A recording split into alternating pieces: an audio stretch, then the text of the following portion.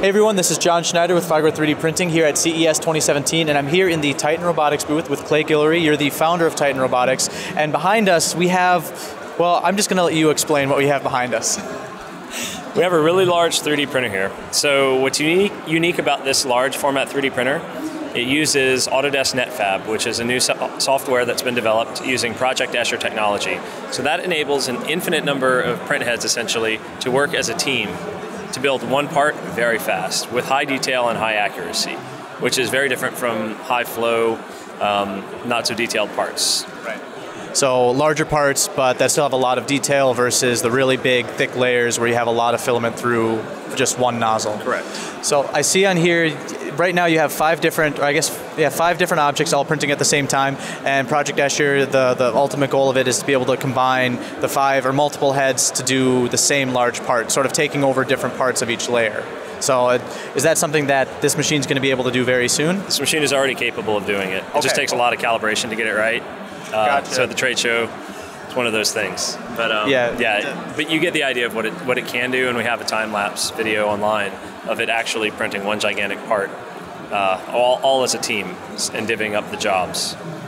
So I see that this uses a different type of motion system than you see most 3D printers using. Where most it's a pulley and belt system for moving the gantries along. This is using uh, ball screws. Is that correct? Yeah, so all of our machines are driven with ball screws. Uh, we have some one machine that has belts, but this is a uh, unique design in that it's fixed ball screw and offset gantry.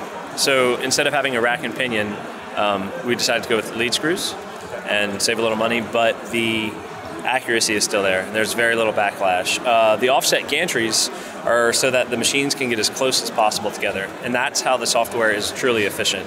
The closer the machines are, the better the prints are going to be, the faster they're going to print. And I also see that your frame is different than a lot of other 3D printers. Instead of extruded aluminum, I mean, it looks like you have. Well, I'll just let you explain it, I guess. Yeah, so every single one of our machines is uh, steel.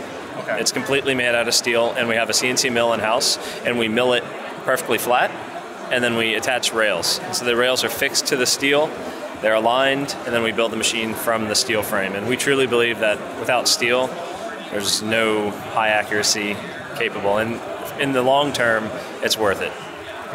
So how big is the uh, how big is the bed on this current printer? Uh, this machine, I think, is uh, 72 by 30 by 20 inches build space. And this is uh, an aluminum bed. It's quite thick and uh, it has a vacuum plenum to keep the polycarb down.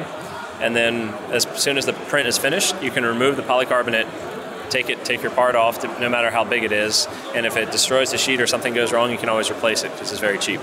So that way you don't damage the aluminum, because I'm guessing that it's not a small thing to replace. No, no, the, the aluminum's not cheap, but uh, you can't really print directly to aluminum, and um, polycarb is a great bed surface. So is there any size limitation on this type of printer, or is this the only size printer you currently have? No, we have so we have three different printers, and all of our models are fully customizable. So that's what we specialize in is customized 3D printers. So every customer has a different specification, and we design and build the machine for those specs. Uh, this is totally modular, scalable. We can make as many bots on it as we want. Uh, right now it has five, but it can definitely have more in the future. So I'm guessing since each printer is custom, there's really no standard price for the uh, for the printers, correct? Correct. All right. So I guess how long have you guys been around? Uh, this is, I'll be honest, the first I've heard of Titan Robotics. So it's really cool to see uh, see someone using uh, using this technology in a printer. Sure.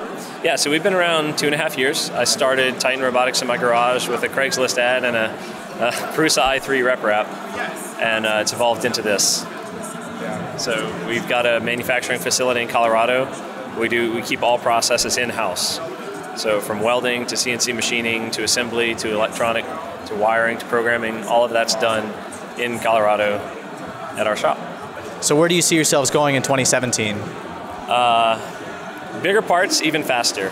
Let's see how far we can push the technology of large format 3D printing and just just disrupt manufacturing everywhere. Very cool. Uh, I guess one last question. Right now, the filament diameter is it 285 or 175? We use 285 in all of our machines. It's a lot more robust and we can get higher flow rates. Um, well, To a point. to a point, we can get higher flow rates because we can push more. Um, It's more reliable. Let's leave it at that. We have a lot, a lot fewer jams, and on these large format machines, if you have a jam in the middle of a print, it's a nightmare. So we've done experiments with both, and three mil is much more reliable. Very cool. Well, Clay, I want to thank you again for taking the time to uh, to talk to me and to show off the machine. It, I don't know, this is this is a whole new level of uh, of interesting 3D printer to watch. It's very cool. Thank you. Thank you for your time. All right. I'm rolling.